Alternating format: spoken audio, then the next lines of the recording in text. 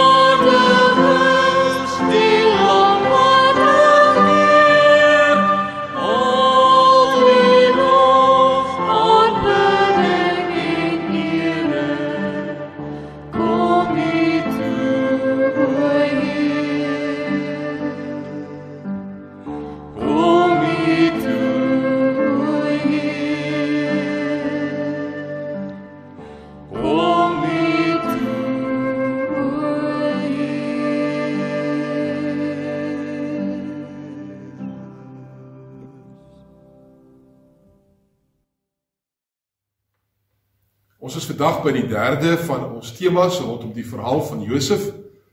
Ons het vir Josef leer ken as die witbroodjie seun van Jakob, maar ook die broer wat deur sy eie broers gehaat is vanweë die feit dat sy pa hom voorgetrek is. Ons het vir Josef leer ken as die een aan wie God ook bepaalde drome gegee het om daardie vir hom iets te vertel ook van sy toekoms, van dit wat die Here ook se droom vir Josef was. Ons het gesien hoe Josef deur sy eie broers gevang is en op die ouende verkoop is as 'n slaaf na Egipte. In Egipte het Josef in die huis van Potifar beland. Daar is hy geseën deur die Here. Dit het goed gegaan met hom. Dit het goed gegaan met Potifar se huis. En Potifar wat vir Josef as slaaf aanstel oor sy hele huishouding. Maar dan gebeur ook die die onvermydelike Josef wat in die moeilikheid beland as gevolg van mevrou Potifar wat by hom aanlê. Josef sê nee vir haar. En die uiteinde daarvan is dat Josef onregverdig, onskuldig deur Potifar in die tronk gegooi word. Vandag gaan ons verder om hierdie aangrypende verhaal te lees, maar voordat ons saam lees, kom ons bid net eers saam. Ons Here, baie dankie dat ons met u woord woord kan besig wees. Dankie Here dat ons dit kan lees en dat dit kan leer. Dankie Here dat ons kan ontdek dat u ook deur u woord met ons op pad stap. Ja Here ook in hierdie verhaal van Josef, hoe ons ook baie keer ons eie verhale en die verhaal van die wêreld daarin kan raak lees. Here mag dit wees dat ons ook in die lees daarvan, maar ook in die leer, ook ontdek hoe ons in ons eie lewens, ook in die moeilike situasies en in die onreg en die onsekerheid van hierdie lewe reg kan optree en so 'n kind van God kan wees in u wêreld. Seën ons dan nou Here as ons hierdie gedeelte gaan saam lees. Dit bid ons in die naam van ons Here. Amen. Ek gaan vanoggend vir ons lees uit Genesis hoofstuk 40. Genesis hoofstuk 40 daarvan vers 1. Ons het weet nou dat Josef is in die tronk. 'n Ruk nadat Josef in die tronk gesit is, het 'n skinker en 'n bakker van Egipte se koning verkeerd opgetree teenoor hulle koning. Die farao het kwaad geword soos die twee amptenare die hoof van die skinkers en die hoof van die bakkers. Hy het hulle in dieselfde tronk laat sit waarin Josef opgesluit was in die gebou van die koninklike leiwag. Die hoof van die leiwag het Josef vir hulle beskikbaar gestel. Hy moes hulle bedien. Toe hulle al lank in die tronk was, het die twee een nag gedroom. Die skinker en die bakker van die koning van Egipte het daar waar hulle in die tronk opgesluit was, elkeen sy eie droom gehad met sy eie uitleg. Josef het die volgende môre by hulle gekom en opgemerk dat hulle bedruk was. Hy het vir die twee wat saam met hom in die tronk was, die amptenare van Farao gevra: "Waarom lyk julle vandag so bedruk?" Hulle het hom geantwoord: "Ons het elkeen 'n droom gehad en ons weet nie wat dit beteken nie." Toe sê Josef vir hulle: "God ken julle drome se uitleg, vertel die drome vir my." En dan gaan hulle voort en vertel vir Josef hulle drome en Josef lê ook dit vir hulle uit.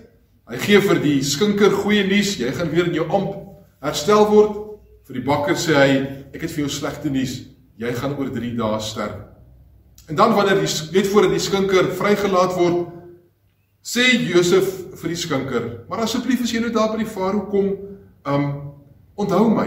Vertel van die farao van my hierdie Hebreër wat onregverdig in die tronk is, dalk kan ek so in die tronk uitkom. Maar dan lees ons in vers 23. Maar die hoof van die skinkers het nie aan Josef gedink nie. Hy het van Josef vergeet. Hoofstuk 41 2 jaar later het die farao 'n droom gehad. En dan uh, vertel Genesis vir ons die die droom wat die farao gehad het en hoe dit die farao diep ontstel het. Want hy het nie geweet wat hierdie droom beteken nie en niemand van sy waarsêers en droomuitleggers kon vir hom eers sê wat hy gedroom het of wat die droom beteken. En dan skielik onthou die skinker van Josef. Hy vertel vir die farao van Josef van hierdie jong man, die Hebreër wat in die tronk sy en die bakker se drome uitgelê het en hoe hierdie drome dan ook waar geword het. En dan laat die farao vir Josef roep. Hy laat hom kom en dan moet Josef vir hom dit sê. Dan lees ons hierso hoofstuk 41 vers 15. Die farao het vir Josef gesê: "Ek het 'n droom gehad, maar daar is niemand wat dit kan uitlê nie. Toe het ek van jou gehoor, jy lê 'n droom uit as jy hom hoor." Josef het vir die farao gesê: Nie ek nie. God gee die antwoord vir u. En dan gaan Josef voort. Hy lê vir die farao die drome uit, maar hy gee ook vir die farao oplossings oor hoe om die hongersdood wat op pad is wat in die drome uitgekom het, hoe om dit te hanteer op die ou einde. En dan hier aan die einde van van die verhaal uh, by vers 37, die farao en al sy amptenare het Josef se raad goed gevind. Toe sê die farao vir sy amptenare: "Waar kry ons so iemand?" 'n man met die verstand van 'n God. Die Farao het daarop vir Josef gesê: "God het jou dit alles bekend gemaak. Daarom is dit duidelik dat niemand soveel verstand en wysheid as jy het nie. Ek staan jou, stel jou aan oor my paleis. My volk moet jou gehoorsaam. Net ek sal meer mag hê as jy." Ek gaan vir ons net tot daar lees.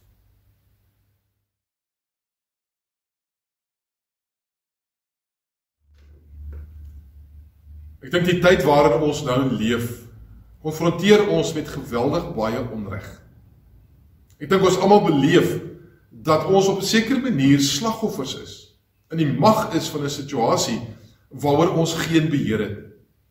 Ek dink wat erger is is dat ons baie keer beleef maar ons verdien hierdie goed wat baie keer in ons lewens gebeur.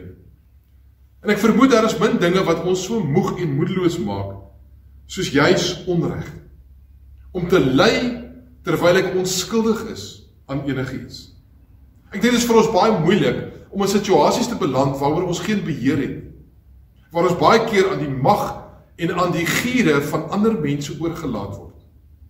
En ons dan gevolge dra waarvoor ons self nie verantwoordelik is nie. Nou wanneer ons sulke goed beleef, onreg of of teenstrydighede in ons lewens of of swaar kry of lyding, dan weet ons kan dit een van twee goed in ons lewens tot gevolg hê. Aan die een kant kan dit my as mens breek. En ek dink ons almal ken verhale in die geskiedenis in ons eie lewens van tye waar waar dinge mense gebreek het. Waar mense moed verloor het en opgegee het op die lewe en om om aan te gaan met hierdie lewe. Aan die ander kant kan swaar kry en lyding en en onreg ook vir my as mens bou. Een van die aangrypende dinge wat ek gelees het is die van Viktor Frankl. Viktor Frankl was 'n sielkundige wat in die konsentrasiekampe in Duitsland tydens die Tweede Wêreldoorlog was. En sy een groot gewaarwording na hy uit die konsentrasiekampe bevry is, was dat mense verskillend gereageer het op die stukke, die seer, die swaar kry van die lewe. En toe sê hy: In hierdie lewe kan alle vryhede van my weggeneem word, behalwe een. Die vryheid om te kies hoe ek op 'n situasie gaan reageer. Ek as mens het hierdie wonderlike geleentheid om in elke situasie te kies oor wat gaan hierdie situasie aan my lewe doen. Gaan dit my breek of gaan dit my opbou? Ons het vanoggend saam gelees die verhaal van Josef waar hy in die tronk is. Josef het die regte goed gedoen. Josef het eerbaar opgetree deur vir mevrou Potifar nee te sê toe sy by hom aangeleë het. Maar op die ou einde beland hy in die tronk. Word hy onregverdig in die tronk gegooi. Sy vryheid en sy situasie sien ons in hierdie verhaal gaan al hoe verder agteruit. Van die geliefde seun van sy pa tot by die gehate broer tot by die een wat in 'n put gegooi word, verkoop as 'n slaaf en nou beland hy onskuldig in die tronk. Maar ons sien ook in hierdie verhaal hoe God agter die skerms besig is om te werk. Hoe God vir Josef seën in elke situasie waarin hy beland. Dit mense agter die skerms sien hoe God ook op 'n baie besondere manier hier aan die werk is. En hoe God se plan met Josef ook tussen die onreg deur stukkie vir stukkie besig is om te ontvou. Ons het vanoggend gelees hoe Josef daar in die tronk twee persone ontmoet. Die skinker en die bakker. Die skinker was waarskynlik die een wat die farao se wyn vir hom aangegee het. Nadat hy natuurlik 'n slukkie geneem het om seker te maak dat dit reg is en dat daar nie gif in is nie. Die bakker was waarskynlik die een wat die farao se kos vir hom voorberei het. Hierdie twee persone het iets gedoen wat die farao kwaad gemaak het en hulle beland in die tronk saam met Josef. En reeds hier sien ons van Josef se besondere hartraak. Want een oggend sien hy dat hierdie twee manne bedroef is. Hy sien hulle nood raak, hulle hulle onsekerheid, hulle angstigheid sien hy raak. En dan vra hy vir hulle, maar maar wat moet keer?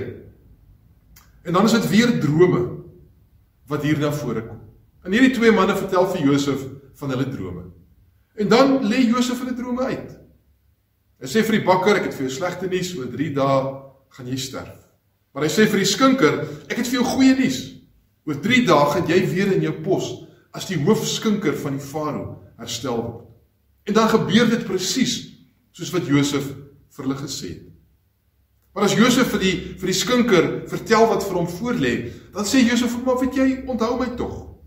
As jy daar by die farao kom, doen tog vir my 'n goeie woordjie oor hierdie onskuldige Hebreëse jong man wat in die tronk sit sonder dat hy enigiets verkeerd gedoen het."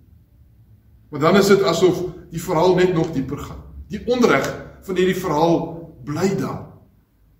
Want Genesis 41 sê vir ons dat die oomblik toe die skinker uit die tronk uitkom, toe vergeet hy onmiddellik van Josef.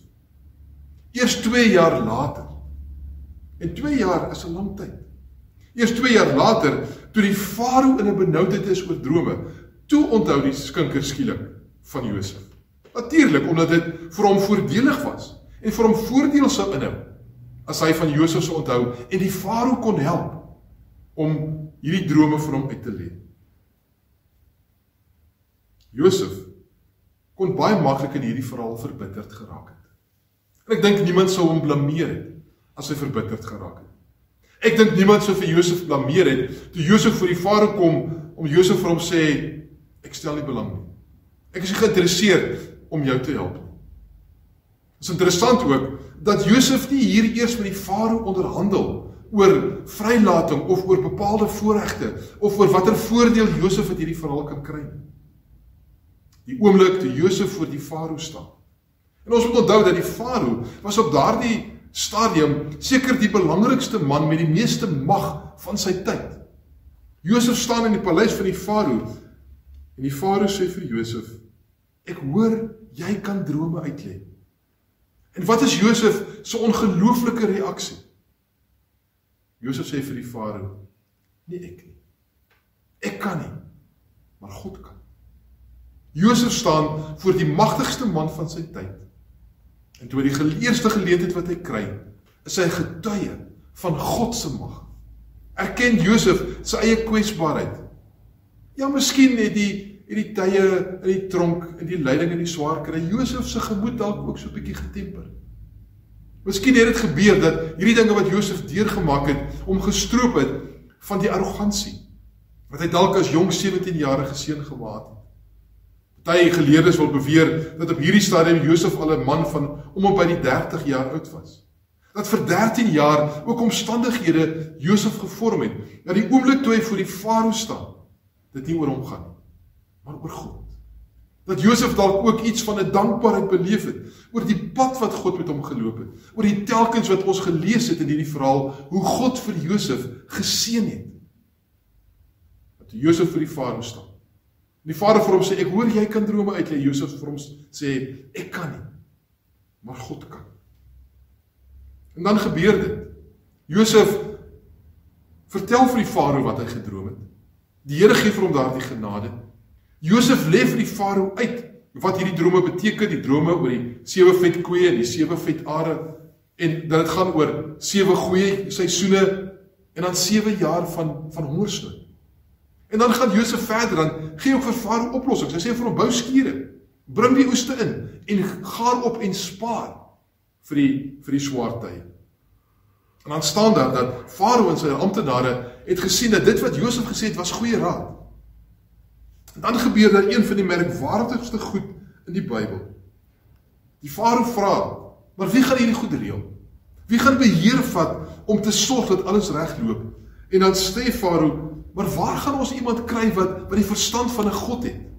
Die Engelse Bybel sê dit so mooi. Farao sê in whom there is a divine spirit. En wie daar 'n goddelike gees het. En dan net daar draai Farao na Josef toe en sê vir hom: "Josef, jy is die man. Ek sien God in jou raak. Ek sien God se werking en God se wysheid in jou raak. Jy is die een wat hierdie hele proses moet bestuur." Josef van arrogante jong mannetjie na gehate broer na 'n put na 'n tronk word in een oomblik herstel na die tweede magtigste persoon in Egipte want die farao sê almal moet vir jou luister net ek is belangriker as jy Josef kry die hoogste denkbare posisie hoekom omdat Josef toegelaat het dat die omstandighede van sy lewe dat die swaar kry, die die ontnigtering, die onreg om nie breek nie, maar bou. Omdat Josef toelaat dat God hom in hierdie omstandighede vorm sodat God se plan met Josef kan ontvul. Wat leer hierdie verhaal vir ons? Ek dink in die eerste plek moet ons vir onsself vra: Hoe reageer ek op die onreg? Op die seer, op die lyding, op die stikkend van my lewe? Hoe reageer ek en jy op die swaar kry? Breek dit ons? Of laat ons toe dat God deur omstandighede heen, deur mense heen, deur sy woord, deur sy gees, ja deur sy eie teenwoordigheid my as mens vorm om vir my 'n beter mens te maak. Dat daar by my groei in my persoonlike lewe ook kom. Hoe reageer ek op die swaar kry tye van my lewe? Ek dink die tweede ding wat hierdie verhaal vir ons wil vra is of ons die vermoë het om nog vir God raak te sien in die moeilike tye van ons lewe. Om te ontdek ook dat ja, daar is swaar, daar is siekte, daar is ontnigtering, daar is hartseer, daar is pyn. Maar God is nog daar. God is nog getrou. Daar is ook nog seën. Leer ek en jy om ook geduldig te wag op die Here. Op die ontvouing van sy plan, sy roeping, sy pad, ook met my as mens. Kan ek nog vir God raak sien in die manier waarop hy met my as mens besig is? Maar ek dink die belangrikste vraag is kan ek ten spyte van en te midde van my omstandighede nog vir God die eer gee? Kan ek nog vir God prys? Kan ek soos Habakuk 3 sê, al is daar niks, sal ek juig en jubel in die Here. En daarom is die vraag van hierdie gedeelte, maar wat is die fokus van my lewe? Is dit my eie omstandighede? Is dit die situasie waarin ek is? Of is my fokus nog steeds op God gerig? Daar is 'n aangrypende teksgedeelte in 1 Petrus hoofstuk 1. 'n Pragtige beeld wat Petrus gebruik wanneer hy skryf van vers 6. Hy sê, hy praat hier oor die leiding van die kerk. Hy sê, "Verheug julle hieroor. Selfs al is dit nodig dat julle kort tydjie bedroef gemaak word deur allerlei beproewings, sodat die egtheid van julle geloof getoets kan word." Julle geloof is baie kosbaarder as goud. Goud wat vergaan. Selfs die suiwerheid van goud word met vuur getoets. En die egtheid van julle geloof moet ook getoets word sodat die lof en die heerlikheid en eer waardig mag wees by die wederkoms van Jesus Christus. Petrus skryf hier, hy sê ons geloof word baie keer getoets. Maar dan gebruik hy die beeld en sê maar ons geloof is kosbaarder as goud. Wat gebeur met goud? Hulle haal die ystererts daar uit die grond uit. En dan word dit in vuur gegooi sodat die klip en die goud van mekaar geskei word. En dan kom hulle en skep hulle die gemors, die klip, die die onnodige goed bo af sodat die suiwer goud agterbly. En dis wat baie keer in ons lewens ook maar moet gebeur. Is dat die Here ook moet ons moet werk. En dat ons moet toelaat dat die Here ook die die slegte goed, die die onnodige goed in ons lewens kom ons afskep sodat die suiwer goud kan agterbly. Dis wat met Josef gebeur. Deur sy ontnigterings, deur sy ontnigterings, deur die onreg heen, het Josef toegelaat dat God hom suiwer. Dat God met hom werk. Dat God ook sy geloof sterk maak. Sodat toe Josef se oomblik van waarheid aanbreek, toe hy voor die farao staan. Josef vir farao kon sê: "Nee, ek nie. God. En God die eer vir dit wat in my lewe gebeur en dit wat hy vir my gee." Dit is my gebed vir jou dat jy ook regtig dit in jou lewe sal beleef. Dat ook hierdie omstandighede waarin ons is en die die goed wat wat jy ook beleef, dat jy regtig sal beleef dat dat God jou sterk maak. Dat God ook jou lewe suiwer, dat God ook jou geloof versterk. Sodat ek en jy aan die einde van hierdie tyd aan die ander kant sal uitkom en sal kan ontdek maar God het ook van ons goud gemaak. God het ook van ons mense kosbare mense van hom gemaak wat aan hom die eer kan gee vir dit wat hy in ons lewens doen. Mag die Here ook dit vir jou kosbaar waar maak in jou lewe. Amen.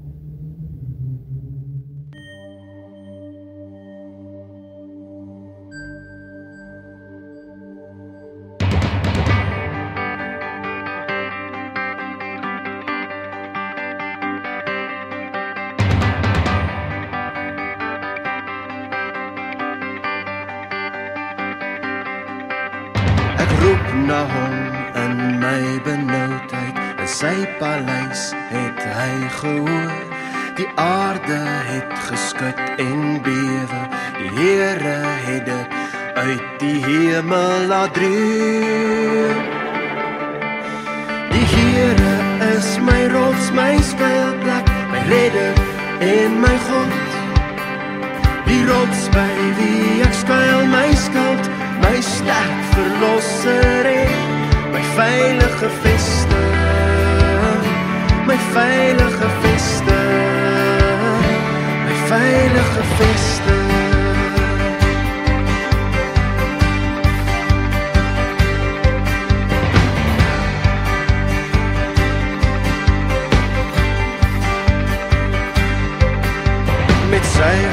Loop ek op oormagstorm. Met my God spring ek oor 'n muur. Hy maak my voete soos die van 'n ribbel. Op hoë plekke laat hy my veilig loop. Die Here is my rots, my skuilplek, my redder en my God. Die rots by wie ek skuil,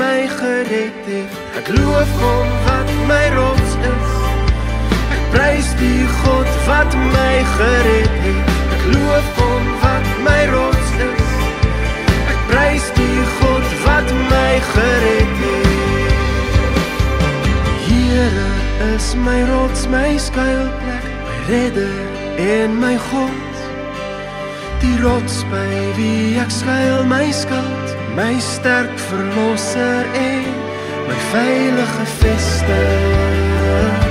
My veilige veste. My veilige veste. My veilige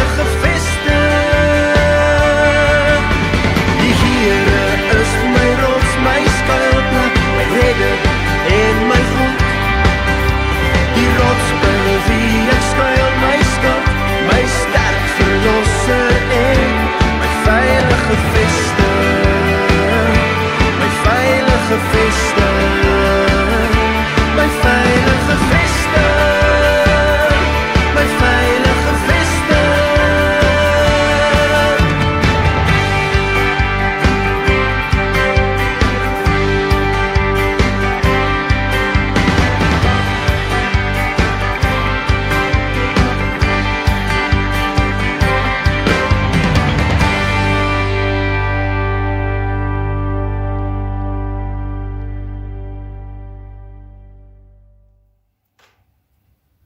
bid saam. Here, ons verstaan nie hierdie tye waarin ons is nie. En ons verstaan baie keer ook nie die goed wat ons beleef nie. En Here, soms voel dit vir ons of die lewe en die lewensomstandighede ons wil onderkry. Here, partykeer voel dit vir ons of dinge vir ons net te veel raak. Dat ons bang raak en onseker en ja, Here self soms begin twyfel. Ons kom net bid en vra Here dat dat U ook deur dit wat ons beleef en ook deur dit wat ons deurgaan vir ons sal bewaar. Dat U genade vir ons groot sal wees en dat ons ook hierna sal kyk en sal kan opstaan en kan sê die Here was goed. Here was getrou. Hy het vir ons geseën. Ons het dit oorleef. Aan U al die eer en die dank daarvoor. Here gee dat ons lewens ook sal word getuienisse van ons hoop, van ons vertroue, van ons geloof in U. Here, ons is swak en ons is nietig. Ons weet hoe nodig ons U het. Maar as Here, ons weet ook hoe groot en hoe sterk en hoe magtig U is. En daarom wil ons sommer net kom bely vanoggend, Here, dat ons U vertrou. Ook vir dit waarmee U in ons lewens besig is. Ja Here, dat ons vir U nog steeds wil eer en vir U steeds wil verheerlik. In die naam van Jesus. Amen. Mag jy vandag die wonderlike seën van die Here beleef. Mag die Here jou seën en jou beskerm. Mag die Here tot jou redding verskyn en jou genadig wees. Mag die Here jou gebede verhoor en aan jou vrede gee. Amen. 'n Mooi dag vir jou verder.